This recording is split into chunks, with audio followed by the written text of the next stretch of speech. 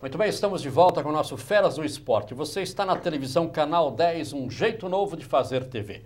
O programa Feras do Esporte tem agora um novo convidado, mas ainda não vou falar dele não, daqui a pouquinho. Agora nós vamos falar da meia maratona das cataratas, que ainda tem 500 vagas, apenas 500 vagas. A corrida será realizada dia 26 de maio e já tem mais de 2 mil inscritos. Os interessados nesta corrida maravilhosa de rua e natureza devem acelerar, apressar, para garantir presença na meia maratona das cataratas. Menos de 500 vagas estão abertas. Isso, olha, foi o final de semana. Hoje talvez já tenhamos aí um número bem menor. Então, dia 26 de maio, no Parque Nacional do Iguaçu. Não perca esta que é uma prova sensacional. Tá? É a sétima edição e é a prova também da demonstração de crescimento, organização, porque ela é feita a seis mãos. Então está todo mundo trabalhando e aqui nós, nossa televisão Canal 10, nós estamos colaborando com esta promoção. Muito bem, Luciano continua conosco aqui, Luciano, mas agora vamos apresentar o novo reforço do Foz Cataratas. É, por acaso é meu amigo. Viola, seja bem-vindo. Muito obrigado, Alvi. Tá tudo certo? Tá tudo em paz, graças a Deus. Tá falando cazaquistanês já? não, não. Vamos falar um pouquinho do Viola. O Viola eu te conheci quando você veio lá de cima. Você veio da onde? De Fortaleza. Fortaleza, é mais um. Aliás, o que tinha de cabeção naquele time do Matelândia de 2004, 2005, que o Cidrão trouxe, é brincadeira. E o Viola começou no Matelândia. Um timaço aquele de Matelândia, deixou saudade, né? É verdade, a gente tinha um time muito bom, muito forte. Lembra dos companheiros? E o Bério no gol? Eubério, Sidney. Sidney. Jason. O Jason. O Jason tá onde hoje? O Jason tava na China Tava agora, na por China. último.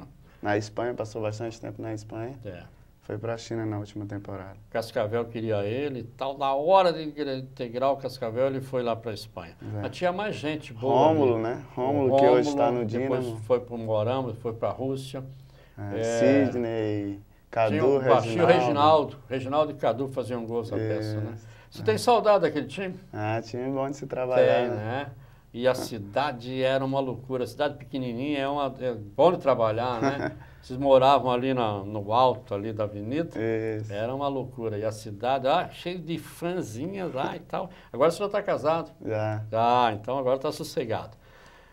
Bom, se você tem saudades, eu vou matar a tua saudade. Ah, vamos rodar agora para você, porque o convite foi hoje ao meio-dia. Agora são 18h30, estamos gravando o programa Feras do Esporte aqui nos estúdios do Canal 10. E aí eu corri para dar uma olhada nos meus arquivos. Como eu tenho mais de 3 mil fitas e uns mil jogos, falei, não vou achar. Aí fui lá, olhei meus DVDs, estava lá. Matelândia e o Moarama. Então vamos rever aí um pouquinho, porque o Viola, inclusive nesse que, eu- que vai, você vai ver aí, ele fez uma jogadinha boa, fez gol, fez tudo. Pode rodar, Gil.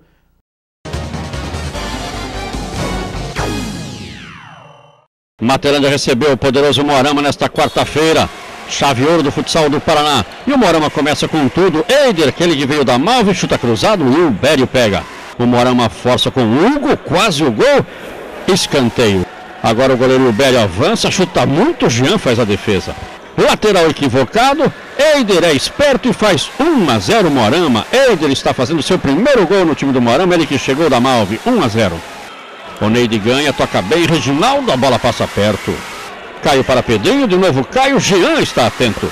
Jean tem pressa, o Materândia corta. Caio finaliza, à esquerda de Jean. Materândia trabalha bem, Reginaldo de bico, a bola passa perto. Adeilton para lá, para cá, finalização. A segunda vez é de Davi por cima. Viola pela esquerda, levanta o torcedor ao passar por um, dois, três adversários, mas o gol não acontece. Viola pela esquerda, faz a festa, toca pelo meio, bola dividida, a sobra é dele, Viola. Um a um, veja de novo, confusão, a bola está sobrando para ele, um a um. Hugo mata no peito, protege bem, chuta cruzado, a bola passa muito perto. Marcinho levanta para ele, também por cobertura, a bola vai para fora, termina o primeiro tempo, um Matelândia, um Humorama. O goleiro Ubério lança Sidney, de primeira Jean pega, veja que belo lance, e o Sidney, Jean.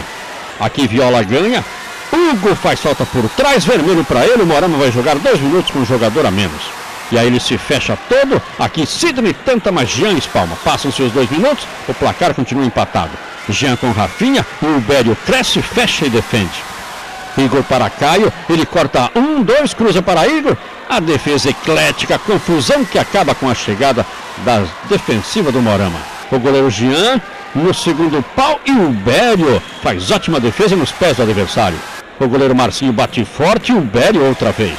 Cid no escanteio, o time do Matelândia chama atenção. Cadu é quem recebe e marca 2 a 1 um. Cadu, Sidney, Cadu, 2 a 1 um. A torcida vai à loucura. O Morama aperta com o Rude pela direita e o Bério uma. Depois, e o Bério a segunda vez. Sufoco do time do Morama.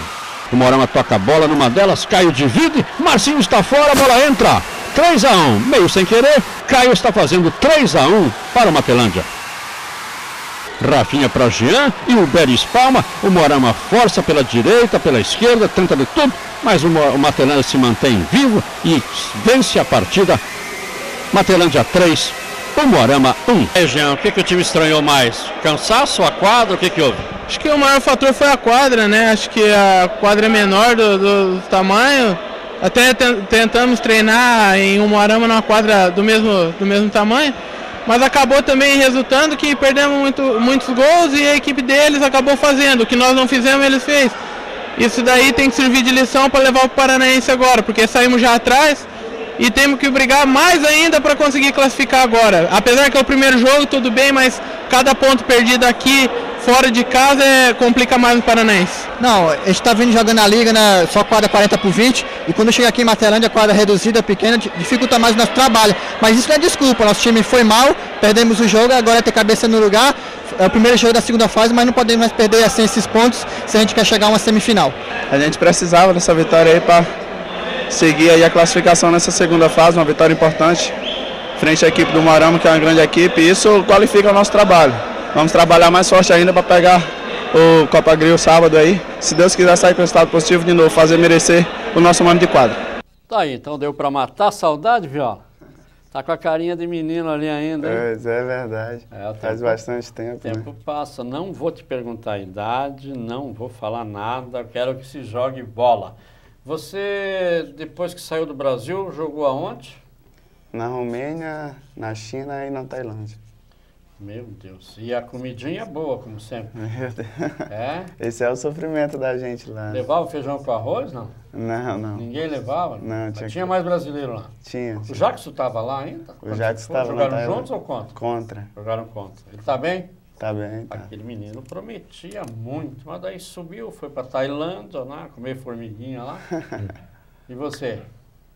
Tô... Agora veio para ficar? Isso, agora veio para ficar de vez aí se Deus quiser, fazer um excelente trabalho no Foz Cataratas, como eu já fiz durante as equipes que eu passei no Paraná.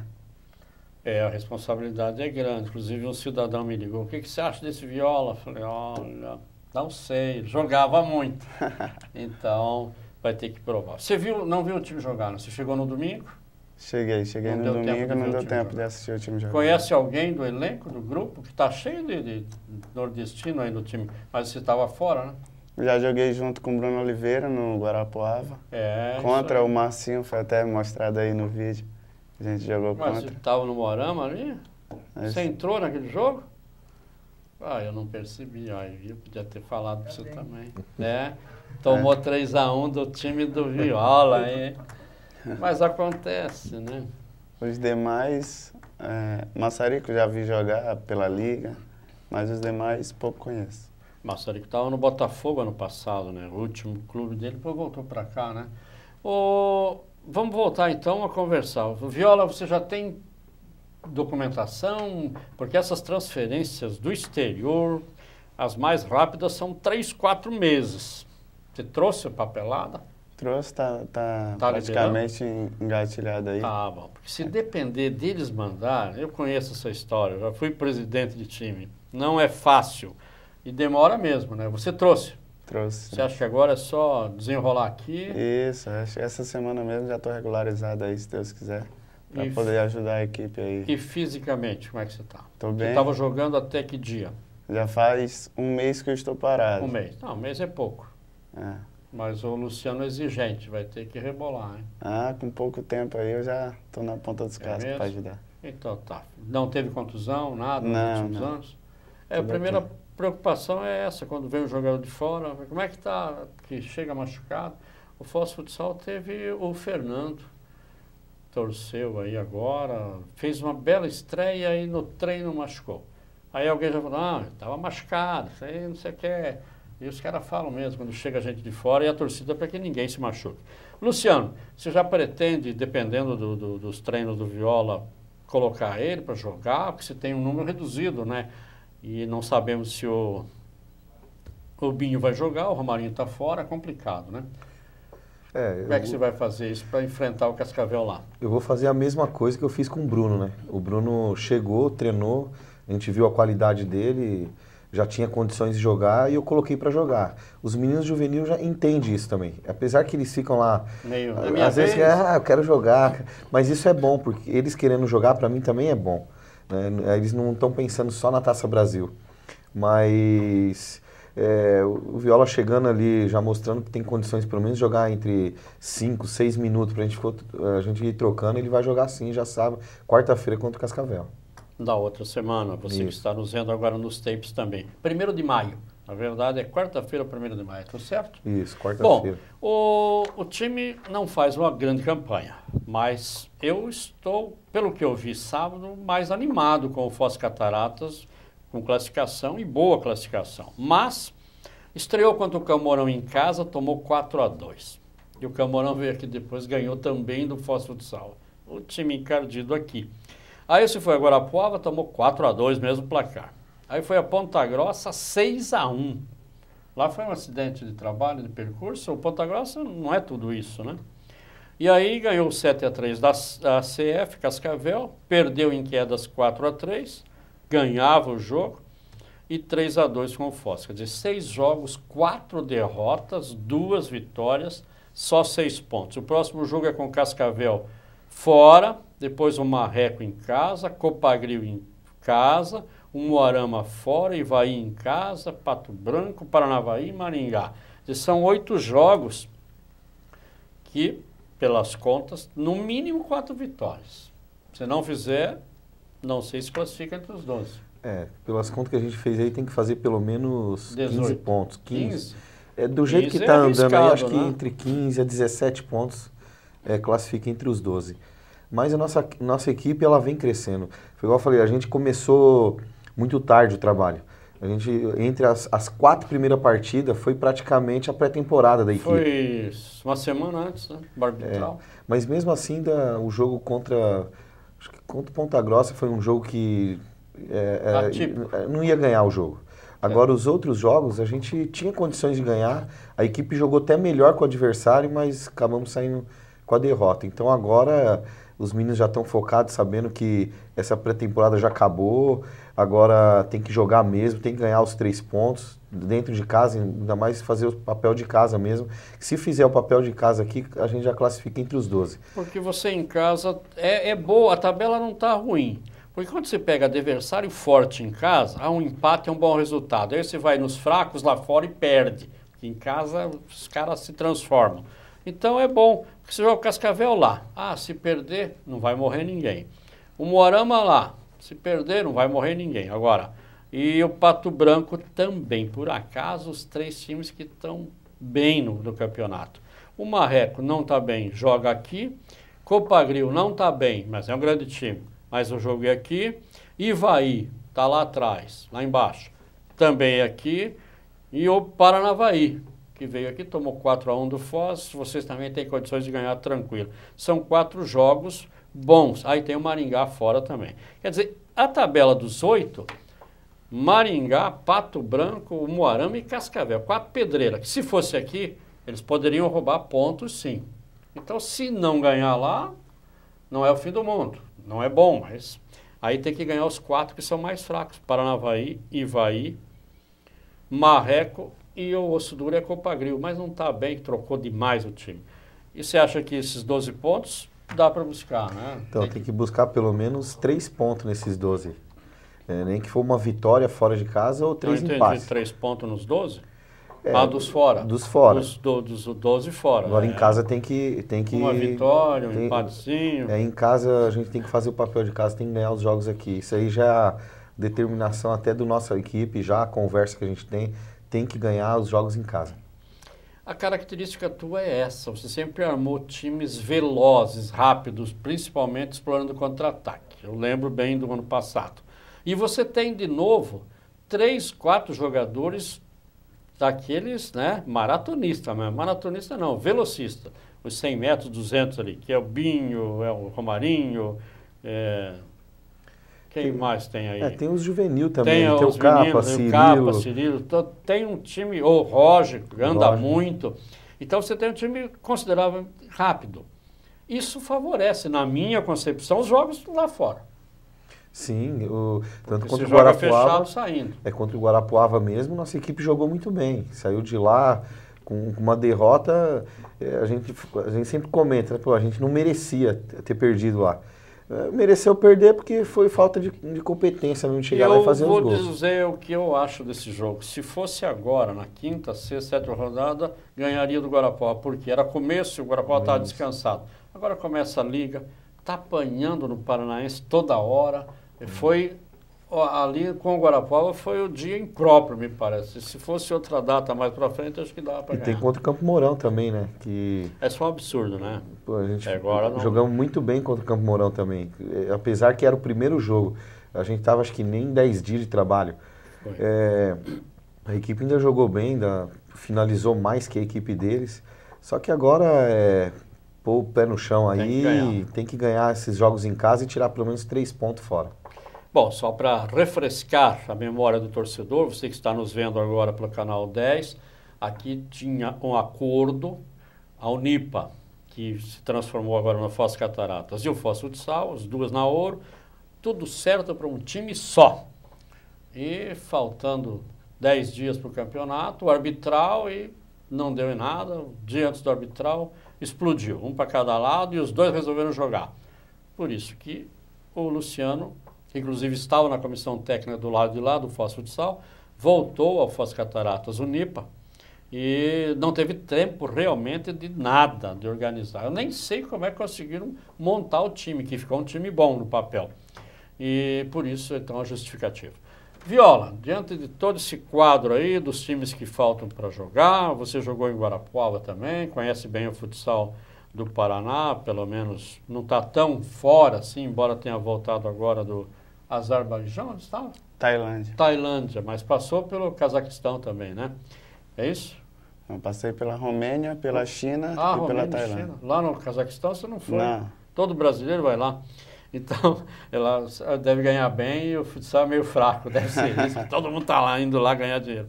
Então, você veio da Tailândia agora. Mas não está desligado do futsal paranaense, né? Você conhece qual é a maioria?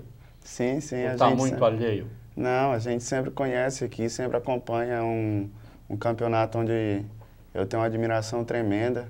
Quando eu não estou jogando, eu estou sempre acompanhando. Tenho vários amigos por aqui ainda, lá em Guarapuava, até deixei vários amigos lá, como Liberato, supervisor, próprio Baiano, alguns atletas lá. A gente se conversa bastante. No Campo Mourão tem conterrâneo meu, acho que Pilheu no tá lá Paraná. ainda. O. Pilheu não parou ainda. Ari, Tá fazendo Ari gol. goleiro tá lá Ari. também. Ah, o Ari aqui foi o melhor jogador contra o Foz Futsal em quadra. Então, estou sempre, tô sempre acompanhando o campeonato, sei da importância que é o campeonato, sei da importância que é o time estar bem e espero aí que a gente vá dar a volta por cima sim, vai classificar. Não, não importa o, o- qual a colocação da classificação, mas que a segunda fase é um novo campeonato e que a gente vai classificar sim, com certeza. Vamos trabalhar para isso, para que a gente possa elevar cada vez mais o nome do Foz Cataratas. Maravilha. Então não esqueça, dia 26 de maio vem aí a sétima edição da Meia Maratona. Queria agradecer ao Marcinho, que está aqui no estúdio, já participou do primeiro bloco. Agradecer ao Luciano, o técnico competente e consagrado, já que em Foz todo mundo respeita esse moço que está fazendo no adulto um trabalho há pouco tempo. E o Viola, que está chegando, matando saudade, e vendo nossos arquivos, né?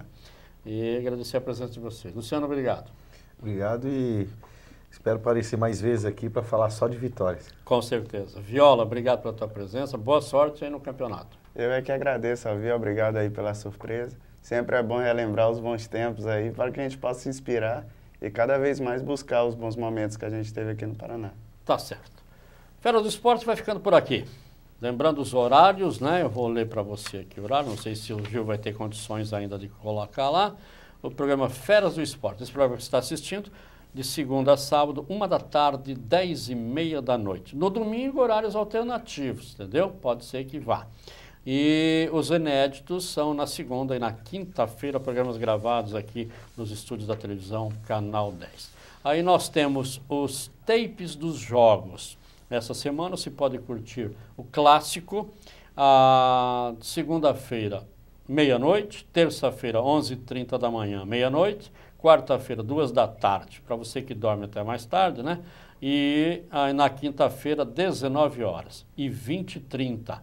No sábado, 14 horas, 19 e 30 domingo, 2 da tarde, 14 e 18 e 30, tá bom? Esses são os horários, então, da nossa programação esportiva aqui na televisão Canal 10.